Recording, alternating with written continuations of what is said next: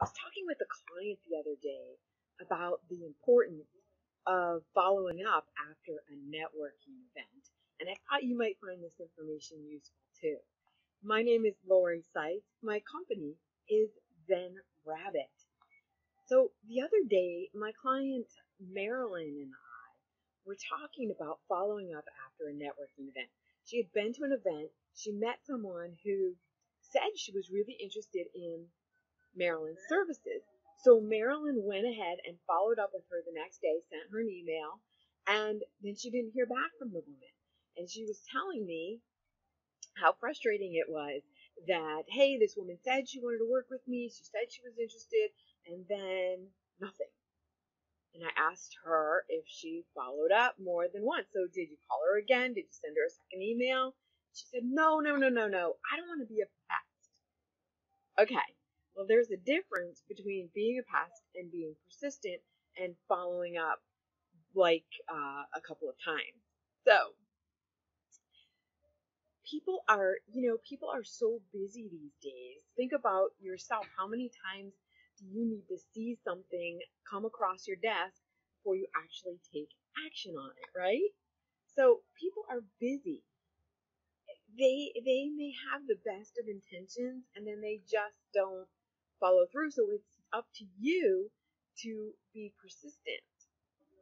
Have you ever thought about doing something for months and you're like, oh yeah, I got to do that, I got to do that, I got to do that, and, and weeks go by, months go by, and then when you finally get around to it, you it's hard to believe it's been as long as it's been before you actually got it done. But eventually you follow through. But the, the, sometimes maybe the messages had to keep showing up for you in your inbox before you took action, right? It reminds me of the um, getting myself to read the book, The Five Second Rule.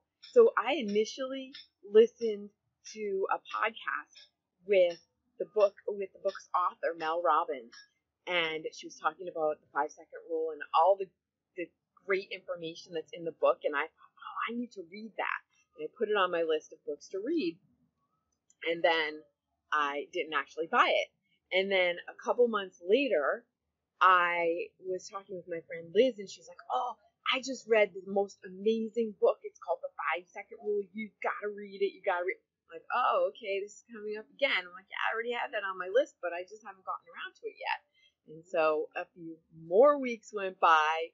I ended up with somehow with a credit at Amazon that I a ten dollar credit that I had two days to use. So I was looking for what can I buy with this credit because basically free money. I didn't want to just let it go to waste.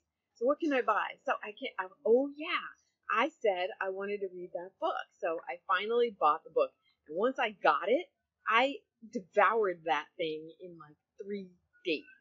The point is, though, it took me a while to actually get around to buying it. So when you are going to networking events and talking to people and uh, maybe they're interested in working with you, maybe they're not quite ready yet. But the point is that you absolutely need to follow up and be persistent. It's not about being a pest, it's not about being annoying until someone, though, tells you, hey, please stop calling me, please stop emailing me. Go ahead and keep in touch with them because I can't even tell you also how many times someone has said to me after maybe the ninth or tenth email or phone call and said, Hey, thanks so much for being persistent. I really wanted to get back with you, but things kept getting in the way. And I'm so glad that we're having a chance to connect now. So be persistent, keep making the effort, and you will see it pay off. If you truly believe that what you have is of value to the other person, then let your desire to help them be greater than your feeling uncomfortable. All right, take care. See you next time.